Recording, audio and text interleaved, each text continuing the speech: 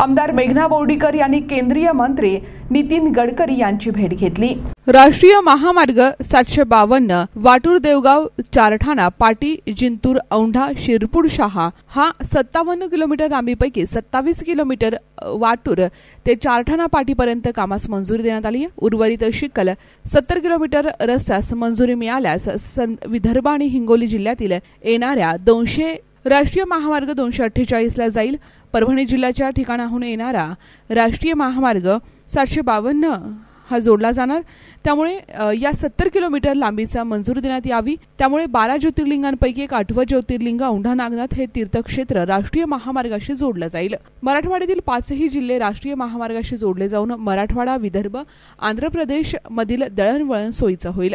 तसेच राष्ट्रीय महामार्ग क्रमांक पाचशे अठ्ठेचाळीस देवगाव शेलूपाथरी इंजेगाव हा महामार्ग शेलू शहरातून जातो. शेलूमध्ये मराठवाड्यात नावाजलेले नूतन महाविद्यालय शिक्षण संस्था या संस्थेत मराठवाड्यातून महाराष्ट्राच्या इतर भागातून विद्यार्थी शिक्षण घेण्यासाठी येतात. तसेच सेलू हे संत साईबाबा यांचे गुरु बाबासाहेब महाराज यांचे जन्मस्थान आहे भाविक भक्त महाराष्ट्रातून दर्शनासाठी येत असतात. पुढे हा राष्ट्रीय महामार्ग सुमुरघवान आणि पाथरी येथून जातो. सुमुरघवान स्वामी नरेंद्र महाराज यांचा मठ पाथरी या ठिकाणी संत साईबाबा जन्मस्थळ. पुढे वरळी पैजनाथ बारा ज्योतिर्लिंगांपैकी एक असलेल्या महाराष्ट्रातील कानाकोपऱ्यातील लाखो लोक या ठिकाणी येत असतात. त्यामुळे सदर रस्त्याला मंजूर देण्यात यावी. अशी आग्रही मागणी केल्यामुळे दळणवळणास चालना मिळेल अशी विनंती करण्यात आली आहे. साहेबांनी सकारात्मक प्रतिसाद देत दोन्हीही कामास तात्काळ मंजुरी देण्यात येईल अशी ग्वाही दिली. आणि या कामांसंदर्भात आमदार मेघना बोर्डीकर यांनी केंद्रीय मंत्री नितीन गडकरी यांची भेट घेऊन सविस्तर माहिती दिली आहे. प्रतिनिधी Gajanan Kale news today twenty four Jintur.